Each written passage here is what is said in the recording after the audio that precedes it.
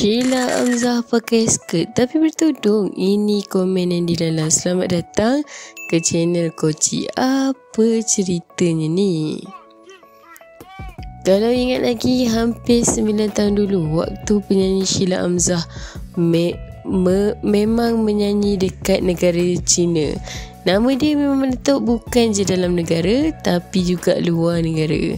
Hmm, dan nak dijadikan cerita pernah satu ketika nama Sheila teruk dikecam sebab dalam satu konsert walaupun rambut tutup elok dengan hijab tapi dekat bawah dia masih pula boleh pakai skirt. Disebabkan tu ayah Sheila yang dilala pun buat satu kenyataan yang mana dia mengaku salah biarkan anak dia berpakaian macam tu. Kata yang dilala disebabkan masa yang singkat dan juga tak banyak kostum yang disediakan penganjur buatkan Sheila terpaksa pakai skirt pendek dengan legging warna kulit. Ini komen dari mulut Andy Lala sendiri.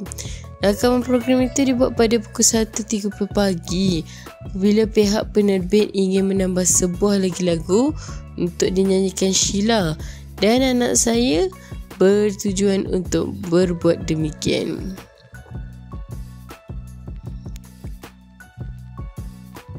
Bagaimanapun timbul masalah pakaian kerana baru kerana baju yang dibawa oleh kerana baju yang dibawa telah digunakan pada persembahan lain. Dan jika mahu kembali ke hotel bagi mengambil pakaian ia memakan masa selama satu jam. Jadi kami memilih pakaian disediakan produksi dan seluar yang di yang dipakai Sheila bukan legging.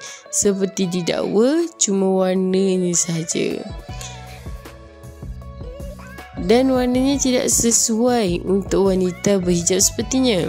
Sejujurnya Cik Kia faham kenapa Sheila dan Andy Lala ambil keputusan macam tu. Walaupun kita ni berusaha sedaya upaya nak tutup aurat, kadang-kadang memang ada ujian macam ni. Apa lagi kalau bekerja de- dekat negara yang tak faham macam mana Islam berfungsi.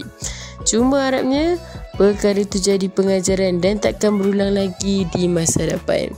Alhamdulillah sekarang dekat 10 tahun berlalu tak ada lagi cerita pasal Sheila buka aurat. Okeylah korang itu je perkongsian Cik Kia. Kali ni kita jumpa dalam next video. Macam biasa jangan lupa like, share dan subscribe. Bye. Okay, ha, kejap-kejap. Nak lihat apa seterusnya? Subscribe dulu, okay? Okay, sedikit ya. Janji-janji. Okay, satu, dua, tiga. Okay, subscribe. Terima kasih. Dengan sumpahan mulut aku. Diulangi artikel ini diambil dari artikel berkenaan. Sebagai penggemar media hiburan, harus berhati-hati dalam memilih sesuatu isu.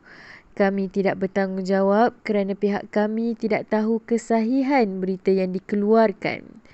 Jangan meletakkan kepercayaan penuh dan membuat spekulasi atas perkara yang kita tidak pasti. Menghayati hiburan boleh, jangan sampai kita melibatkan diri dengan fitnah dan buka aib mereka.